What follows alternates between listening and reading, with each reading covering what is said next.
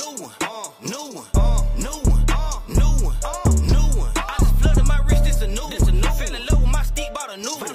When it cost a new coupe, this a new one. Had to cut that bitch out, got a new, got new. New chain, new watch, new bag. So what's good, Team G fan? Welcome back to the channel. Um, listen, the next video we're getting into is what's the deepest hole we could possibly dig? I know there's like a kinky joke in there somewhere, but I'm gonna leave that alone. All right. Listen, as a kid though, running around playing, you know what I mean, digging holes, digging deep holes, you often wonder like, how far could I possibly go? But nobody physically, no human physically could pro- possibly dig that deep to which we were thinking as a kid, right?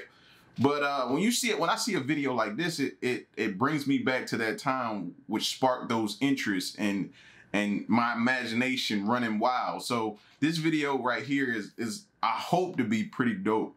Uh, shout outs to what's their name again?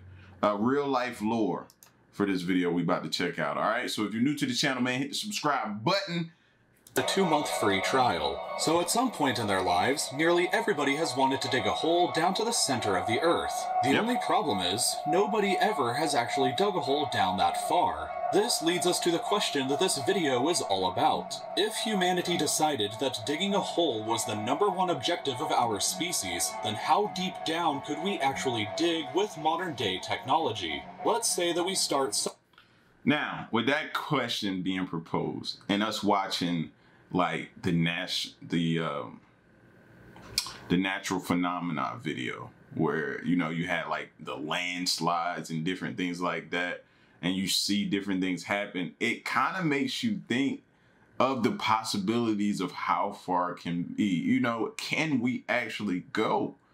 And what would we run into? Like, I, I, I don't put it past nobody, bro. But I'd be scared to do it at the same time. Just to, what would we unearth? somewhere on the Earth's surface. We dig with modern day technology. Let's say that we start somewhere on the Earth's surface and just start digging from there. Not too far down at 1.8 meters, and we arrive at the standard grave depth in Western culture. So if you're afraid of zombies, this is how far down they'll be coming from. 4 meters down, and we arrive at the depth that Pharaoh Tutankhamun's tomb was discovered at. A little further at 6 meters below the surface, we reach the maximum depth that metal detectors can pick up signals from. At 12 meters, we can find the deepest burrows dug by animals, the Nile crocodile. A little Whoa, whoa, whoa, whoa, whoa. you mean to tell me that you digging down and you could possibly run into a crocodile who done burrowed down into the ground like, stop! How many of y'all knew that? I gotta hear that again to make sure I heard that right. 12 meters, we can find the deepest burrows dug by animals, the Nile crocodile. A little further down 39 feet deep, bro. You digging and you happen to run into a crocodile. What the fuck? At 20 meters and we- burrows dug by animals, the Nile crocodile. A little further down at 20 meters and we arrive at the depth of the Paris catacombs beneath the city of Paris, a tomb that holds the remains of over 6 million people. Double that distance to 40 meters down and we can see the deepest swimming pool in the world. If you drained this pool and jumped into it from the top, it would take nearly 3 seconds before you would hit the bottom. 100 meters down is the usual distance One 1,000 falling, two 1,000 falling, three 1,000 falling. You're just now hitting the ground. That's insane. nearly three seconds before you would hit the bottom. 100 meters down is the usual distance that governments bury their nuclear waste at, and just beneath that, at 105.5 meters down, is the deepest metro station in the world located in Kiev. Moving on to 122 meters down, and we see the deepest known point that a plant's roots have ever reached a fig tree in South Africa. 220 meters down, and we arrive at the deepest river in the world, the Congo River in Africa. Beyond that, at 240 meters, you can ride through the deepest railway tunnel in the world that connects the Japanese islands of Honshu and Hokkaido. But at 287 meters down, you can drive through the deepest road tunnel in the world in Norway. 305 meters down, and you would still be vulnerable to the B 82 Earth penetrating nuclear warhead, So, for those of you thinking that underground is the way to escape warheads, nuclear warheads, different things like that, right? Thousand and one feet for the B 82 warhead. Meaning that you need to go further down to not feel impact, bro. Are y'all getting nervous yet? Is this making y'all, is this messing with your anxiety like it does mine? Just want to know. It's really messing with me right now. Years down, and you would still be vulnerable to the B 82 Earth penetrating nuclear warhead, which can destroy structures up to this depth beneath the surface. Incredibly, though, at 392 meters, we arrive at the deepest well and possibly deepest hole ever dug by hand. This is the Woodingdean Water Well in the UK, and it was dug all the way back in 1862. At 603 That guy. Who is that guy? Who was that guy? His hands, remind you, he said dug by hand. His hands needed to be like clayed and molded and be in some type of Smithsonian or some type of of, of uh, museum or something, man. Like, bro, by hand. UK, and it was dug all the way back in 1862. At 603 meters down, we arrive at something terrifying the deepest vertical drop inside of a cave. If you were unfortunate enough to be in this cave and fall down this hole, the fall would be higher up than falling from the top of the One World Trade Center in New York, and the fall would take you over 11 seconds before hitting the bottom. Even further down, though, at 700 Meaning you're dead before you hit that. You're dead before you hit that bottom. Hopefully.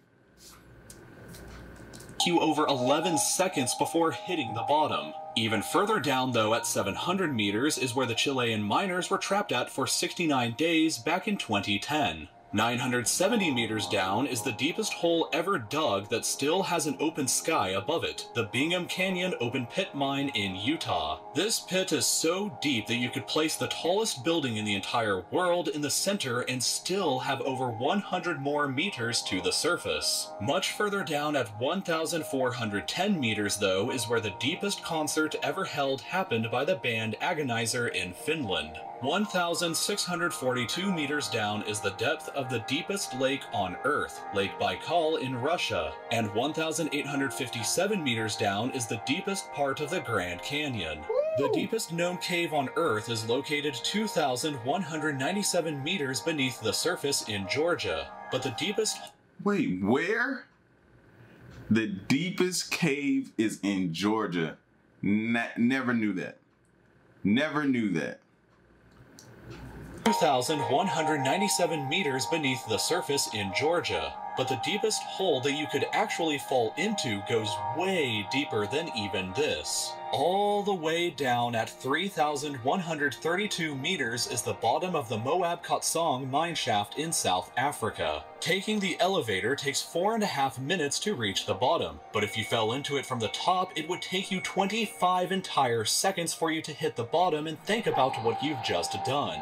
Long enough to receive and miss an entire phone call. Even further down at 3,600 meters is the deepest point that a multicellular organism has been found alive. This freaky looking worm. But human beings themselves have been even deeper than this. 4,000 meters down is the deepest part of the deepest mine on Earth, also located in South Africa. I know y'all looking at the, the meters, but are y'all paying attention to what's in parentheses? Miles, right? 2.5 miles. 2.5 miles.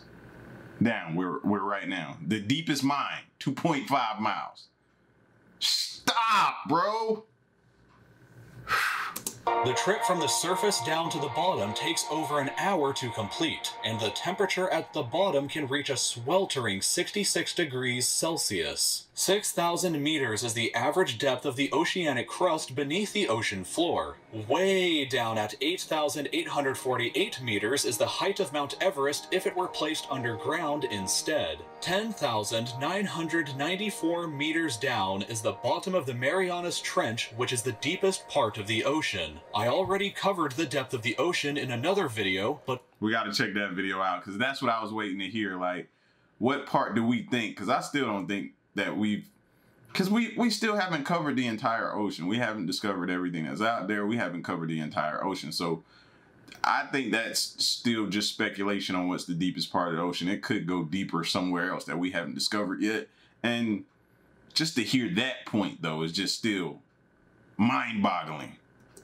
But unbelievably, humans have actually dug down significantly deeper than even this. For reference about what's next, 11,887 meters is the average altitude that a commercial airliner flies at. But deeper than that, at 12,262 meters is the depth of the Kola Super Deep Borehole, a project where the Soviet Union attempted to drill all the way through the Earth's crust. They only reached a third of the way there though because the temperature at this depth reached 180 degrees Celsius, which was too hot for the drill to continue operating any further. The hole is also only 23 centimeters wide, so luckily you can't accidentally fall into it. If you dropped a quarter down the shaft though, it would take about 50 seconds before it hit the bottom. Recently, however, this depth has been surpassed by the Z44 Chayvo oil and gas well, which has drilled down to a depth of 12,376 meters. That's the equivalent of stacking 15 Burj Khalifas on top of each other, and currently represents the deepest hole that humanity has ever dug. The crust, however, can extend down to 70,000 meters below the Earth's surface, and the planet's center is located 6,371 kilometers down. If the surface of the Earth is Lisbon, Portugal, and the planet's center is Astana, Kazakhstan, then humanity so far has just ventured this tiny, insignificant distance. A lot of you have asked me before what software I use to create I don't want another software, but fam, did that just not blow y'all's mind? I like watching videos like this, man. You know, we be doing our little YouTube university thing, man, where we be going to school together and we be learning stuff, man. But stuff like this is just it's it's super interesting to me, man. Just like some cold hard facts. Or or we would hope these are cold hard facts. Um about things like this, bro. Because like he said in the he he kind of echoed my same sentiments, man. Playing as a kid, you often thought like you never went in this in depth like this, but you was like, man, I wonder how far you would have to dig to get to the center of the earth, man, and what would it be like, and is it possible, man? Just digging, digging your little one foot hole, you were thinking like that, man. And to see us attempt and the things we've accomplished, just lets us know, man, that it, it's it'll be possible one day. With technology advancing the way it is, it, it definitely will be possible one day. But the question now is, what will we find? What will be the outcome? What will be made of of the discoveries of what we find? Like, you know what I mean? ah, bro, stuff like this get me hyped. I know it may be boring to some people, but not to me, man. I enjoy stuff like this. You know what I'm saying? So that's why I told y'all, man, I'm the most randomest person ever. Never judge a book by its cover because you will look at me and never expect me to to be intrigued by some video like this, man. But I am. I like it. You know what I mean? So y'all get at me in the comment section. Let me know what y'all think. Leave a like, share the video, subscribe, stick around and stay tuned. To the next reaction of my piece, y'all stay solid. Hey.